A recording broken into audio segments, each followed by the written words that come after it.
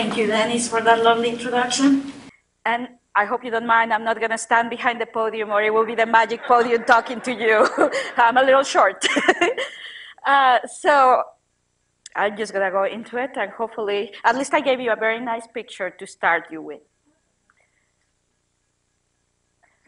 So I always like to start the talks with why, uh, what is a natural product to begin with. So a natural product or a secondary metabolite is a molecule that is produced by an organism, is not essential for its survival, but it somehow confers some evolutionary advantage for the organism, organism to make it because it takes energy. So if they are making it, there has to have a reason for it. And over 62% of the small molecule agents approved as medicines can be traced back to a natural product. So aspirin, for example, is derived from a natural product that comes from a tree. And over 48% of cancer-approved drugs come from a natural product. So Taxol, which is the number one used drug for cancer, comes from a tree as well. So because we have uh, profited so much from natural products, and that is just terrestrial. It makes perfect sense that since our oceans cover 70% of this Earth, and they contain so much of the biodiversity of this Earth, that we're, we're going to find new natural products that we can use as medicines in the ocean. And the other part why it makes sense is that many of the organisms that live in the ocean cannot move. They're sessile. So if you think a little sponge, the way they get a lot of things done is by putting out chemical signals. They put out signals that allow them to mate. They put out signals that allow them to conquer a territory and say, this is mine, to stay away. Um, and they put out signals that say, don't eat me, I taste nasty. Uh, and so by doing that, they allow themselves to survive. And so they're little chemical factories, and of course they have the reasons for making it, but we take advantage of their production, and we use that to find possible new cures. So, and we indeed have had already success. There are two, these are two approved drugs that come from marine organisms. The one on the left here is Yondelis or ecteinascidin 743, and it comes from a tunicate uh, that is found in the Caribbean and Mediterranean seas. I'm told that it is also found here in Fort Pierce. Um, and our own Dr. Amy Wright helped find the structure of this compound. So this it was not so simple to solve. and it has been approved by the European Commission for the treatment of soft tissue sarcoma and ovarian cancer. And in 2015, it was finally approved by the FDA for soft tissue sarcoma use. Um, Halaven or eribulin is another compound. So this is the synthetic, and that just means the made in the lab uh, product, um, the analog of the marine sponge natural product halichondrin B. And this one was approved by the FDA in 2010 to treat metastatic breast cancer in patients that had already gone through two regimes of different chemotherapies. However, in, in, Europe, this has become the first line of treatment because they have seen such positive results. So let's hope that it becomes like that here in the US. And unfortunately, everybody always asks me this. We are in the early stages, we do discovery, and there is a very long road from the, from the lab, from my lab to the clinic. So I was showing you ecteinascidin 743, and uh, that, the one that comes from a tunicate. They first observed activity for this compound in 1969, and that was uh, at uh, the National Cancer Institute in the National Institutes of Health. It took until 1990 when the structure was uh, elucidated. So that was uh, reported by Rinehart and his colleagues at the University of Illinois Urbana-Champaign and by Dr. Amy Wright here at Harbor Branch and her colleagues. It took until 2000 for PharmaMar to report a commercially viable synthesis. So they were able to make it in the lab and they were able to make it in a way that it was compatible with producing a lot and being able to sell it. It took until 2007 for the European medicines agencies to approve it for soft tissue sarcoma. And as I said before, it took until 2015 for the FDA to approve it. So this is a span of 46 years, uh, it's longer than I've been alive, and I'm no spring chicken. So, so this is this tells you that it is a long road. Hopefully, it will not be as long for some of our compounds, um, but it is a long road from the lab to the clinic. And as Dennis said, I'm part of the Marine Biomedical and Biotechnology Research Program here at Harbor Branch Oceanographic Institute. And our goal is to discover marine natural products that can be used against many dreaded diseases. So we hope that this beautiful biodiversity, which we know translates into beautiful chemistry, chemical diversity, we will, we will be able to find cures for Alzheimer's disease, uh, bacterial infections such as MRSA and Clostridium difficile, uh, malaria, tuberculosis, diabetes, and cancer. And today I'm only going to talk about the cancer because that's what I do. But I just wanted you to be aware that we are also finding cures for other diseases. And of course, there are many scientists that, uh, that are part of the marine biomedical and biotechnology research. So we have a natural products chemistry group, which is led by Dr. Amy Wright, where they isolate and, purify the natural compounds. They also do the chemical characterization of the compounds, and they have worldwide collaboration to test against many, many dreaded diseases. We have a microbiology group, which is led by Dr. Peter McCarthy, that does the isolation and culture of marine microorganisms. They also screen for antibiotic activity, such as MRSA, and they have environmental assessments going on on the Indian River Lagoon to see what bacteria are present there. Uh, my group is a cancer cell biology group where we screen for bioactivities, and then we try to figure out how those compounds do those activities, and we call that the mechanism of action. Um, we have a group that is the sponge cell biology group that is led by Dr. Shirley Pomponi. This group is uh, trying to create cell lines that come from sponges to produce the compounds, but also Shirley wants to understand why the sponges make the compounds. We know how they benefit us, but we don't know what benefit they have for the sponge in all cases. And then we have a biosynthesis group. So what Dr. Guojun Wang is trying to do is that is to identify the genes that are responsible for making the compounds, and then once you have those those genes, to perhaps uh, induce production or even change those genes to produce different compounds with different activities, which might be more potent. So I, I know at some point I'm going to toss these terms at you, so I figure I better define them before we start. So these are two key concepts in cell biology. One of them is apoptosis, and the other is signal transduction. And apoptosis stands for programmed cell death, and it is a normal process that all cells have, that when they have finished their function, or if they have become infected or damaged in any way, they can commit cell suicide. Um, it is, as I said, it's a normal process. However, in cancer cells, this process sometimes doesn't work. And so a damaged cell or a cell that contains damage in DNA is allowed to survive. And many cancer cells are known to be resistant to apoptosis. So I took this slide from Amy because I thought it was an easy way for us to understand um, how apoptosis occurs. So everybody knows that when you have infection, you have elevated levels of white blood cells, which are cells of the immune system, because they're there to try to fight that infection. Um, and once those white cells, though, destroy the infectious agent, you have to remove the excess white blood cells because you really don't need to keep them. And so they die through apoptosis. That's the way that they eliminate themselves.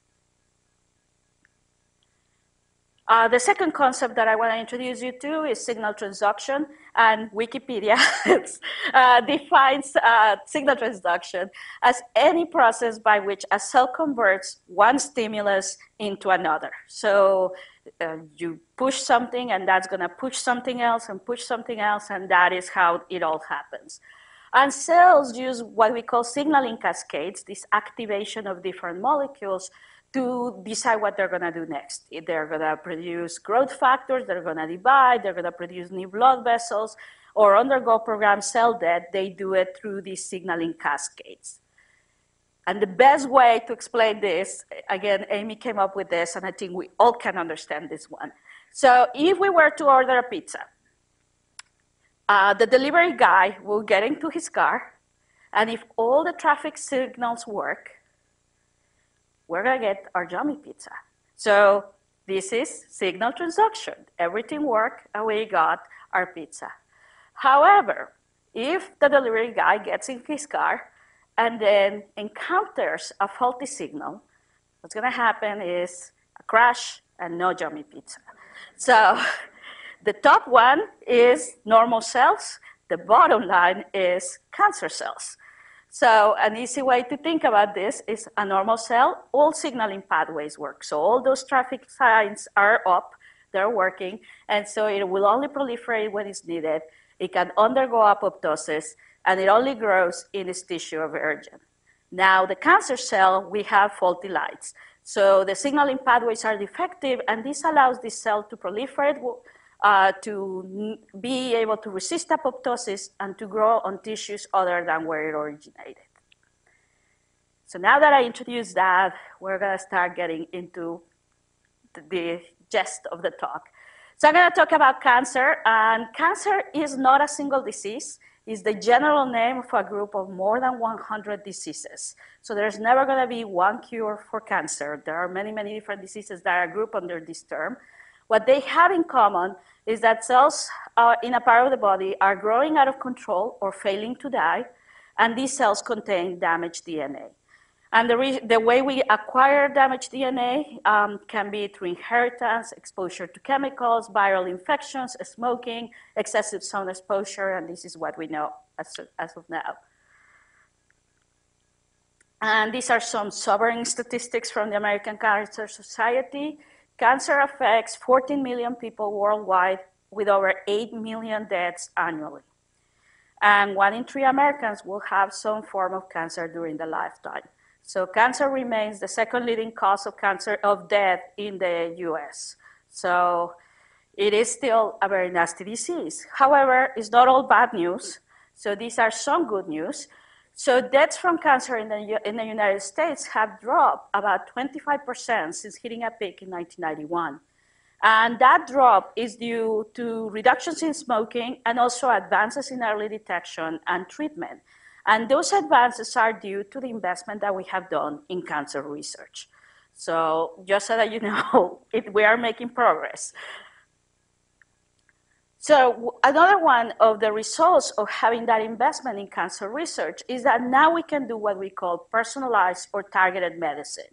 So when a patient goes and has a biopsy of their tumor, we're able to study that tumor that was extirped, and um, we can see what molecules are in its surface. We call those receptors. And based on that, we might be able to more targeted give them a treatment that they will respond to. The other thing that we can do is we can sequence their tumor and we can know what genetic mutations they might have. And based on those genetic mutations, we might know a little bit of the signaling pathways that might not be working well in that, pers- in that particular patient. So we can then give a patient a more defined treatment that is more targeted to his own tumor and his own person. So this is a really big advance that is the result of research. We also have new approaches to treat cancer because we learn more about what's wrong with cancer. We know that in cancer, I was telling you about signal transduction molecules, and we know, or signal transduction, and we know that some of the molecules that do this signaling transduction in cancer are always on or always off. So now we're looking for ways of returning them to normal, turn them off or turn them on, depending on what we need. We know that inflammation seems to precede the development of certain cancers, and we know it facilitates metastasis or the spread to other organs. So again, we can target that more specifically. Uh, we know that tumors create what we call a tumor microenvironment by releasing soluble factors that help them grow. And so we're trying to target that more specifically um, an area. I'm an immunologist by training, and so an area that we are really interested in is making your own system recognize it. And what we know is that the cancer kind of becomes invisible to the immune system, and what we're trying to, to make it is so that the, the immune system can see it again. And finally, we know that cancers are able to turn on um, unusual pathways to get nutrients. And so if we were able to uh, block those pathways, we kind of will cut the fuel lines that are uh, facilitating cancer growth. So I'm going to tell you a little bit of how we do that or how we're approaching those treatments here at Harbor Branch. So we were very lucky that for many years we have access to our own ship and submersible. And nowadays we have the Cooperative Inst- Institute of um, Ocean Exploration, Research and Technology that allows us to use remote oper- operated vehicles. But using these tools, we are able to collect marine invertebrates that then we have our fantastic chemistry group extract with solvent and they do what we call fractionation. So they separate every single peak that you see there, it's a different compound, and our chemists separate it into what we call the peak library, which contains mixtures of two or three compounds, or we also have our pure compound library. They send those to my group, and then we do the screening and we do mechanism of action studies. And so, just so that you know, some of us cannot live without this. I am one of them. So, anytime that you're making coffee, you're making an extract. So, you grab your uh, coffee beans, you ground them, you mix them with hot water, and you obtain this magnificent drink that keeps me going uh, that contains caffeine and a thousand other chemicals. So, that extract, that every time that you do, you're making an extract. Those of you that don't drink coffee, you do a similar thing with tea. Um, and so that's what an extract is. Of course, our chemical, our chemists do not use water. They're using different solvents, but they basically grind the samples with the, mix them with the different solvents, and they obtain what we call extracts from the marine invertebrates that we have. And I told you that we have what we call the peak library. And the reason the peak library is used for screening is that we get mixtures about three or four uh, compounds, and it allows us to find different activities that could be there. So this is a Discodermia sponge, and this contains a compound that some of you might have heard about called discodermolide, which is very similar to Taxol and is very toxic. But it also contains compounds that are not toxic. And by following activity based on the peak library, if we follow those highlighted in green, we will obtain this compound that is able to inhibit IL-8. And the reason we care about IL-8 is one of those soluble factors released by tumors that allows the production of new blood vessels, and this inhibits that process without killing the cells. Um, if you follow the yellow, you end up with this other compound that inhibits CCL2. And CCL2 is what we call a chemokine. It attracts certain cells to the side of the tumor that facilitate tumor initiation. And so by blocking that, we block the cells from coming there. So it works out beautifully to use the peak library for screening um, when we do it. And when we do screening, we have two types. We have what we call cytotoxicity screening, and that just simply means can our compounds kill our cancer cells? Of course, we don't want we don't just want to kill our cancer cells. We want to kill cancer cells without killing normal cells. This is what we call selectivity. So we have one of our compounds, leiodermatolide, kills about 300 cancer cells for each normal cell that it kills, and we like that. We have another one called neopeltolide that kills 6,000 cancer cells for each normal cell that it kills. We like that even better. So that's what we're trying to go for. Um, we also do what we call target-based phenotypic screening, very big names. Uh, but what that refers to is I've been telling you about signaling and those molecules that do it. What we're focusing is on those molecules. Can we turn them back on or back off using our compounds, or can we block them? So we are trying to figure out if we can do that using this type of screening. This is called forward chemical genetics. We know we're changing a molecule. We don't know exactly why we do it. And that requires to, for us to figure out how we do it, which is what we call mechanism of action. And uh, we use human cancer cell lines. Uh, for those of you that might not know what that is, is when a patient goes and has surgery to have a tumor removed, uh, once we have the tumor out, if they give permission, this tumor is dissociated into single cell suspension and try to grow into the lab. And then it is placed in a repository, so, such as the American Tissue Culture Collection. And so scientists like me can buy those cell lines. And the good news about that is that those cancer cells keep growing and dividing in the lab, so I can keep them for a good time. And they retain the characteristics of the tumor that they came from. So it allows me to study the biology of cancer and also to test cancer treatment in human cells without affecting any patients.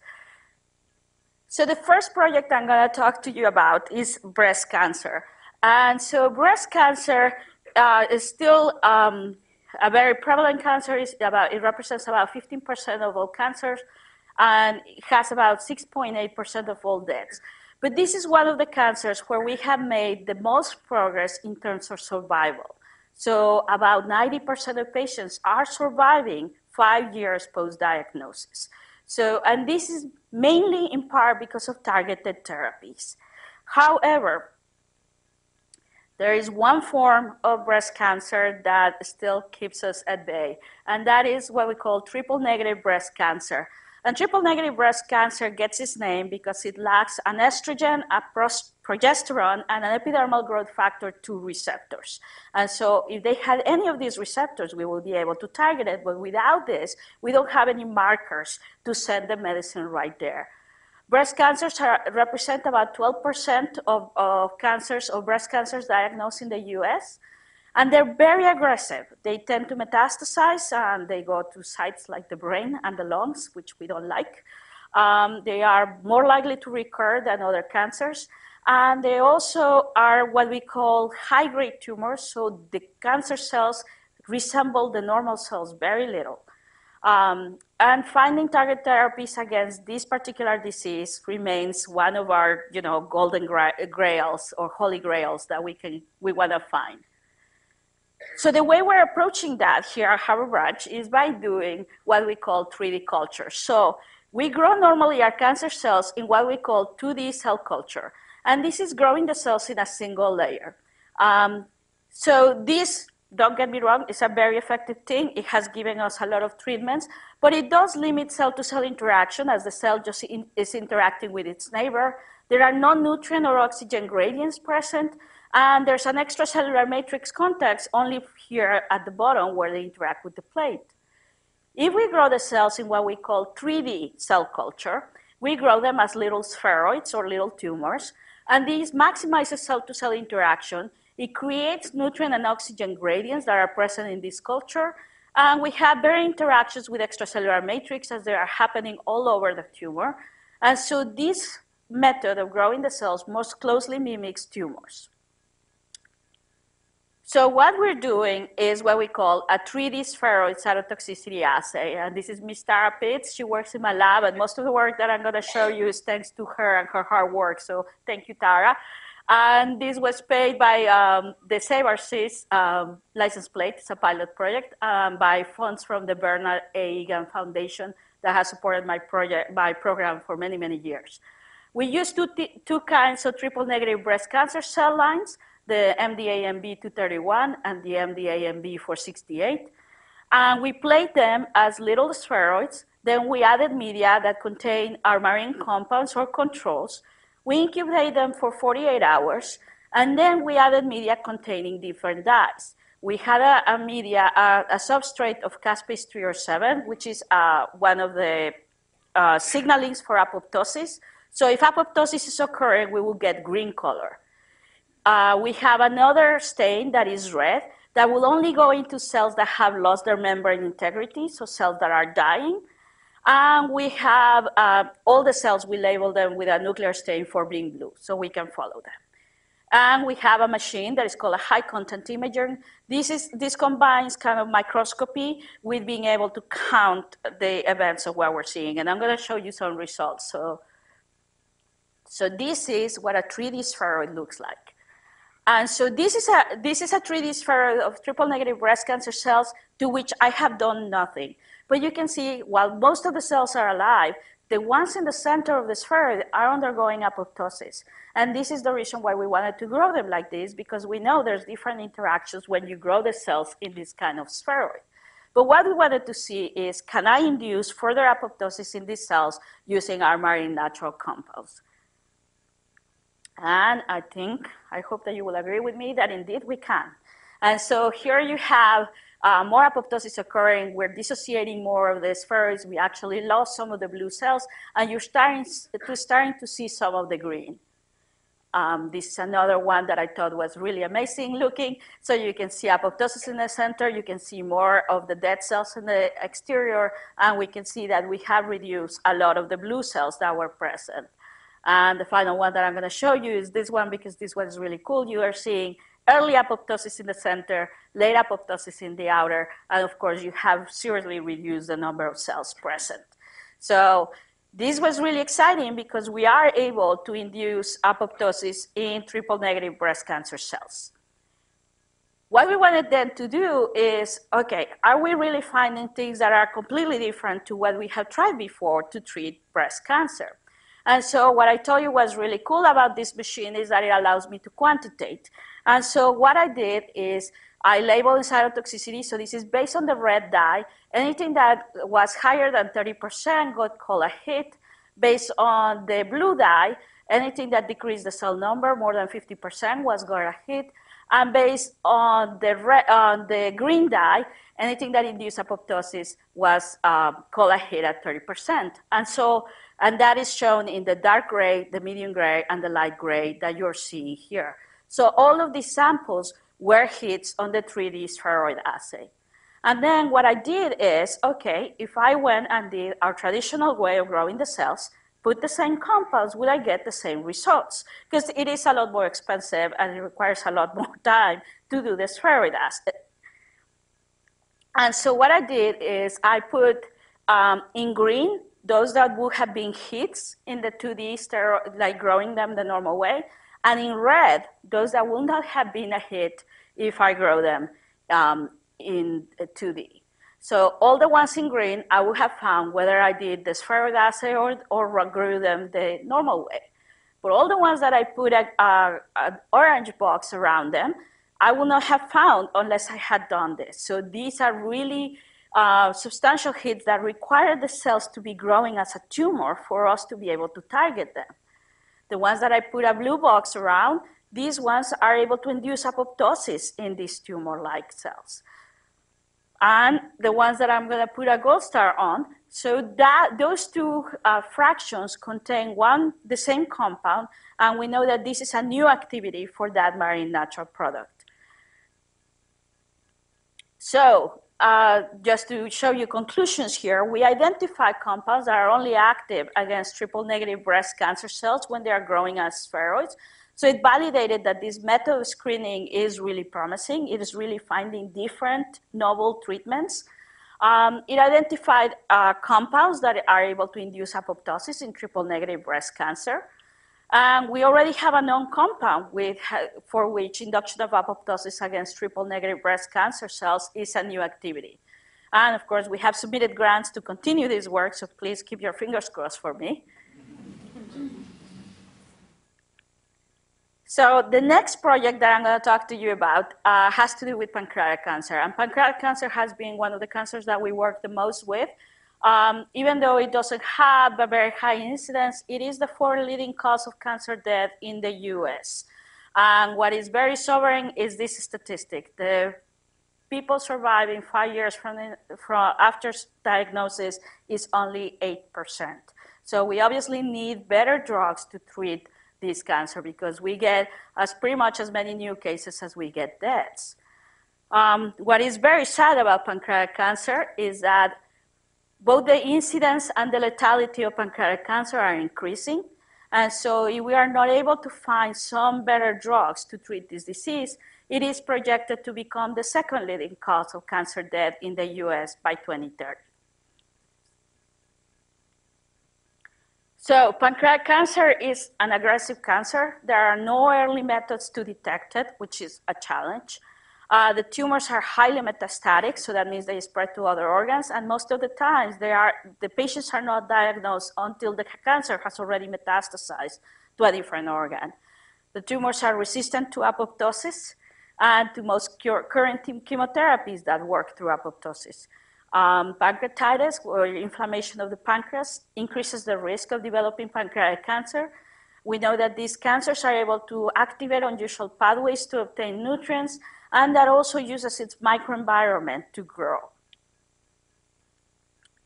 So the way we try, we're trying to target this is what through cancer immunotherapy. So I told you I'm an immunologist, and we know that at some point cancer cells become invisible to T cells. So here I made a little cartoon where the T cell is complaining that if the cancer cell doesn't have the, the right receptors, it cannot talk to you. And the cancer cell is laughing because it's doing that on purpose. By not putting receptors, it becomes invisible to the T cell, and the T cell cannot act upon it. So what we're trying to do is make your own immune system recognize this cancer. So I'm gonna get a little bit into science, but I'm gonna walk you through it, so bear with me. So everybody has heard about antigen presentation, and I should apologize, I'm an immunologist, and we like to give the same cell 500 names. So a cytotoxic T cell is also called a tumor-infiltrating lymphocyte. It's also called a CD8 positive T cell. So you might know it by that. It is a lymphocyte. It is part of white blood cells. Um, but they recognize, when they recognize cells, they can induce apoptosis in those cells. So if a cancer cell is being presented to a cytotoxic T cell, uh, you require that the T cell receptor on that cell to recognize the antigen being presented in context of MHC. If that binding occurs, this is going to result in the cancer cell undergoing apoptosis. Uh, so immunology is all about uh, homeostasis and keeping balances. And so we have other factors that can play a part here. So we have what we call co-stimulatory molecules, such as B7-1 and B7-2 and CD28. And if these bind at the same time that antigen is being presented, you actually get a stronger response. So that we want. However, there are other molecules called immune checkpoint molecules, such as PD1, PDL1, CTLA4, and B7H4, that if those were to bind at the same time that antigen is being presented, you get a weaker response. So most immunotherapy or one form of immunotherapy that is being used in the clinics is targeting these immune checkpoints. We know that these, if they bind, they cause a weaker response. So the idea was if we were able to block it through an antibody or a small molecule, such, a such as a natural product, could we restore the response and get the cancer cell apoptosis? And this is indeed the case. So I know, I don't know if some of you have seen the advertisements for this, but these are being used nowadays in the clinic. They have shown very good responses for those cancers that they work on. So there are PD-L1 inhibitors such as Tecentriq, Bavencio, and Imfinzi. There are PD-1 inhibitors such as Keytruda and Opdivo. And there are, uh, there's a CTLA-4 inhibitor called Yervoy. These are effective against certain types of cancer, such as bladder cancer, non-small cell lung carcinoma, demersal skin cancer, some melanomas, some kidney cancers. However, they are not effective against pancreatic cancer. And so pancreatic cancer doesn't seem to express a lot of PD-1 or PD-L1. Uh, it doesn't express CTLA-4, but the one immune checkpoint that they do express is B7H4.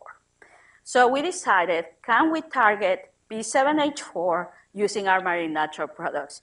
So again, Tara did most of this work that I'm showing you about, uh, showing you here, and this was supported by a grant from uh, a discretionary grant from the Harbor Branch Oceanographic Institute Foundation that was made to BMR.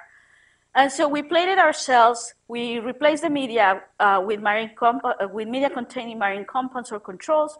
We incubated for uh, 24 hours, and then we label the cells with an antibody against B7H4, a cell mask, or a nuclear stain. We did high content imaging, and I'm going to show you some of the results. So these are our cancer cells. So these are pancreatic cancer cells. They've been labeled, so the blue is the nuclei. You can see some of the green in some cases, which is just showing us the cell body. But all the red that you see is the B7H4 expression without doing anything to the cells. So you can see how abundantly B7H4 is expressed in these cancer cells. And next, we wanted to treat them with some of our marine natural products and see if we can bring those levels of B7H4. And I hope you agree with me that there's less red in this picture. So we have indeed brought down the levels of B7H4 with this marine natural compound HB149. And we have even others that work even better. So there's a lot less red when we treat with this fraction. So that makes us very exciting because now we can kind of get the immune system recognizing and seeing pancreatic cancer again. The other way that we're trying to revive the immune system, and again, I'm going to show you some crazy science. Bear with me here. Uh, so it's targeting the molecule called FOXP3. And so I show you how antigen presentation occurs so that this cytotoxic T cell can recognize the cancer cell and kill it. And if it happens in the process of co-stimulation, we get a stronger response. Because immunology is all about checks and balances, there's another cell called a regulatory T cell. And this cell, um, it has many markers, but one of the markers that it expresses is a molecule called FOXP3. And its job is to make sure that this response doesn't, uh, doesn't stay on forever.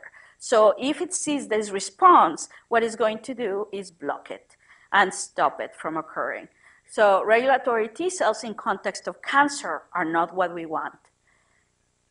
But there's a new finding that we have seen and it is that pancreatic cancer cells and colon cancer cells, those are the only ones that we know do it so far, express FOXP3. Uh, what we think is happening is that by the cancer cell expressing FOXP3 is fooling the cytotoxic T cell in producing a weak response. And so our idea is if we were able to block FOXP3 with our small molecule, we'll be able to restore the response. And so again, we did an assay using very similar uh, approach, focusing on FOXP3. And these are our results. So now the red that you're seeing is FOXP3 expression. And this is our control. And you can see that without doing anything, we have very abundant uh, FOXP3 expression on our pancreatic cancer cells. If I treat them, though, with one of our uh, marine natural compounds, you can see that we indeed brought down the red. So we're very excited about this research uh, because it means that we might be able to restart the immune system.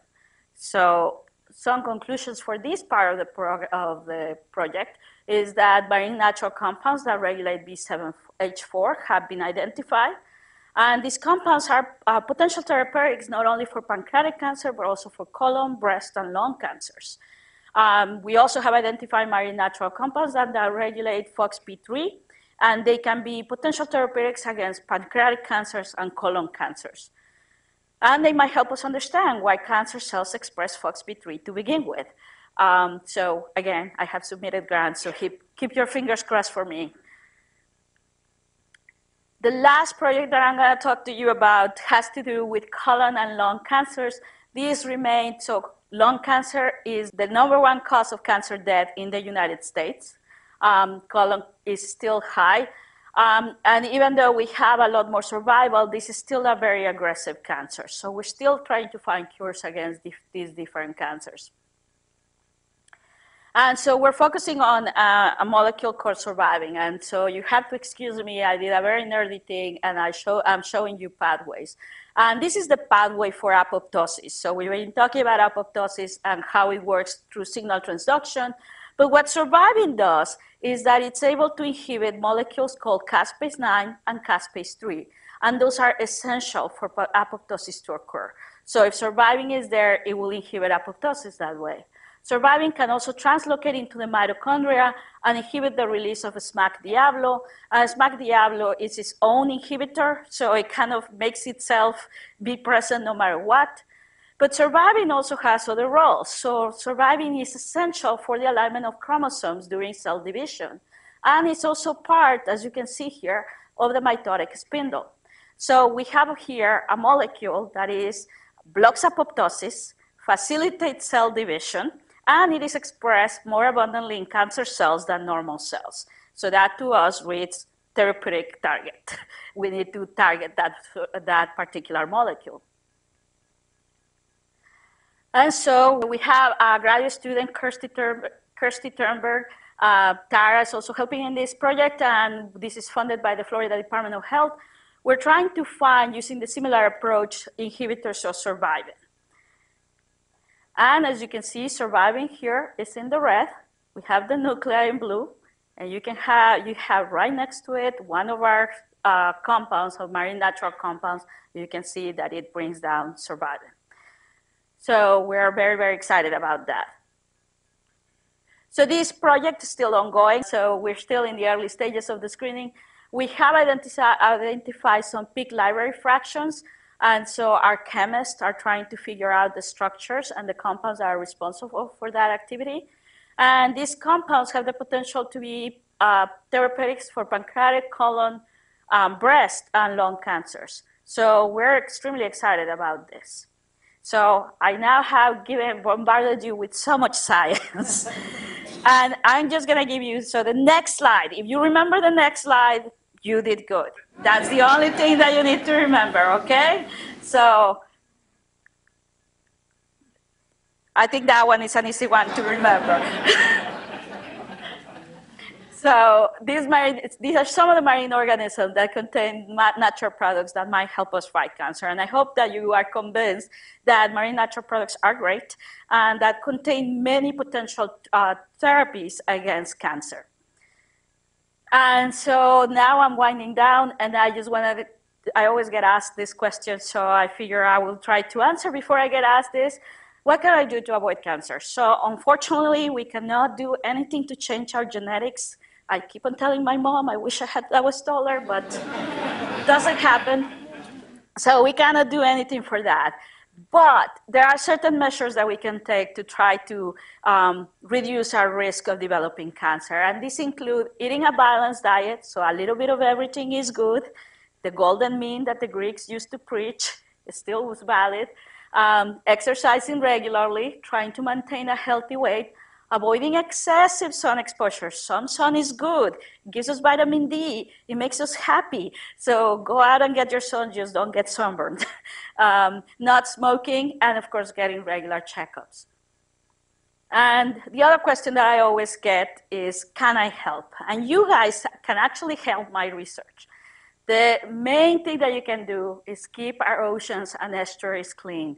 I want those organisms that contain those great compounds to still be there by the next time I go collecting. And the only way that that's going to happen is if we preserve their environment and make sure that they're happy where they're living. Uh, you can be a research advocate and please tell others about our research and why it matters because we appreciate that. Um, anytime that you hear that the NIH funding, the National Institute of Health funding is going to be cut, please write to your congressman or to your representative and tell them not to do it. Most researchers, we depend on the grants that we get from them to do the work that we're showing you. Uh, similarly, support the state legislature that funds the Florida Biomedical Program. So similarly, if you hear that that's going to be cut, please write to them and tell them, no, they're doing some good things with that money. and of course, you can always make a donation to my program. So I know Amy's not gonna like that I'm gonna do this. Oh, before I do that, I just wanna acknowledge all our funding agencies. So we get funding from the National Institute of Health, National Cancer Institute, the Florida Department of Health, the Harbor Branch Oceanographic Institute Foundation, the Cooperative Institute for Ocean Exploration, Research and Technology allows us to still collect samples. Uh, the Save Our Seas gave us a pilot project and of course, the Bernard Egan Foundation has been supporting my program and they have been instrumental in me pursuing new directions.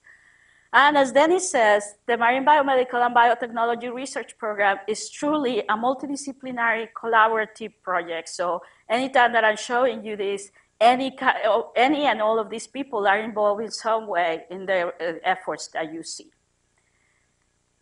And I know, Amy, you didn't want to hear about this, but I'm the only person speaking for BMR this year, so I thought you would like to share the good news. So our director, Dr. Amy Wright, has been named a fellow in the National Academy of Inventors this year. So please acknowledge Dr. Wright.